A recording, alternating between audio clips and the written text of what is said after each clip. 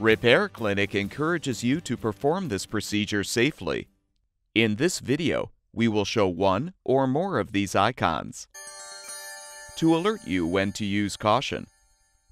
As with any repair, you should unplug the appliance before beginning. To replace the lid lock on your washer, you should first use tape to secure the lid. Next, remove the top two hinge screws, securing the main top hinges to the rear panel.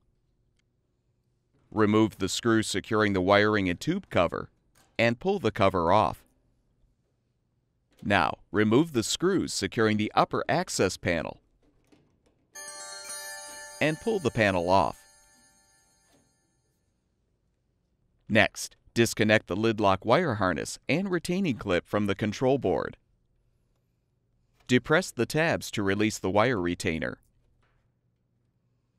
Now pull the main top forward, lift it up, and support it.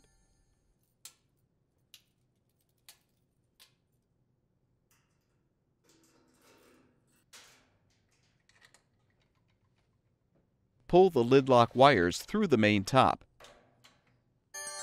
and disconnect the wiring loom from the retaining clips. Remove the mounting screws securing the lid lock to the main top and remove the old part.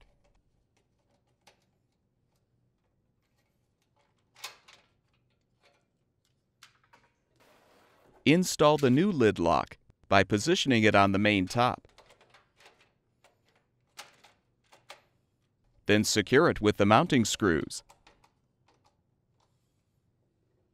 Hook the wiring loom under the retaining clips. Insert the wires through the main top and snap the retainer into place. Remove the support. Lower the main top. Align the slots in the top with the bracket tabs on the frame. Then push the top back. Connect the new wire harness to the control board and snap in the retaining clip. Realign the upper access panel and secure it with the screws.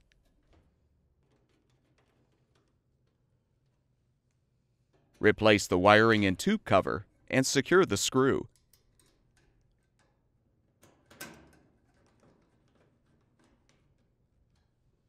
Reinstall the hinge screws.